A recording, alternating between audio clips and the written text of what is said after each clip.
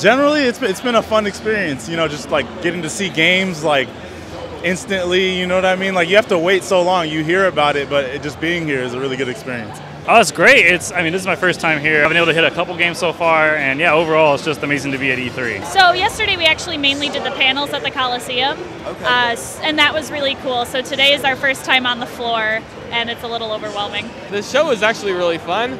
Those lines, though, man, I tell you what. Oh man, the the crowds are crazy. We waited like four hours um, yesterday just to play Destiny 2. For sure, it's worth it. We started at the other hall the other or yesterday. Uh, based off that experience, I feel like I got my, my, my money's worth. So coming here, this is the first thing that we tried. Uh, so far, so good.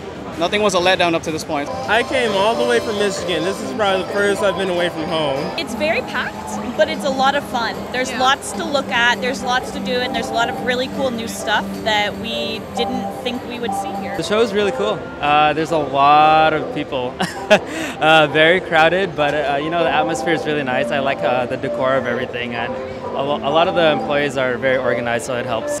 Yeah, I like it. It's, it's packed, but it's fun. If you're if you're a video game fan, yes. If you're just like a casual, like oh, I kind of play video games, it would not be a good value for your money. So you know, very crowded. You got you got to want it. Basically, is what it comes down to. Oh, I really like it. I've never really done E3 before, but my brother really likes it, and so I, he tells me all about this stuff, and I, I really like coming here. Oh, cool. I'm glad I came. I went to the Coliseum yesterday. The- a lot- I like the panels they had. It was very interesting, very uh, motivating as well. If you go to an amusement park, like I live, I'm from Florida, so I'm used to being around amusement parks. The annual pass is like way more than that. And you, if you wait for you wait for something, you wait for something. Honestly, it's been really fun. Uh, I've come all the way from Orlando, Florida for this. Um, so I've enjoyed the show. I wish I was more media on, on that side. I think, honestly, having the 10,000 casual fans come in actually is more of a detriment to the show than it is a positive factor. It's great that we can come experience these games, but for the most part, let's understand that this is a convention first. I'm not, no, sorry, not a convention first, but an expo. And for that, you've got the developers here trying to really get a real sense of where their games are at. And on top of that, you've got folks in the industry who need to be able to take this information back so that way they can write what they need to write and put out what they put out to hype up these games. Um, so that way we, the casual fans, can actually play them.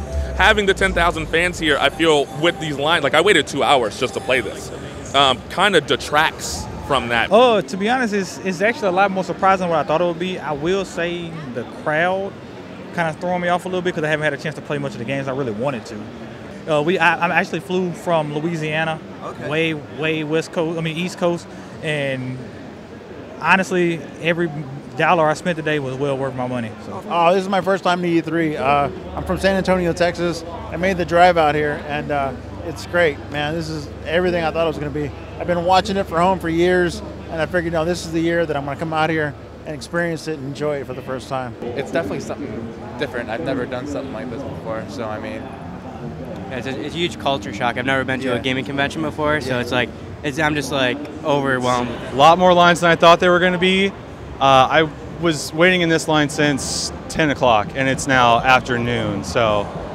yeah, but it was worth it. Absolutely, I loved it. Yeah, you have to be smart about it, um, and you also just have to temper that with like, um, there's a whole lot to see, not a lot to do. So that's that was been my opinion of it so far. This, this is my first time visiting uh, the show floor, and it is just unfor- unforgettable.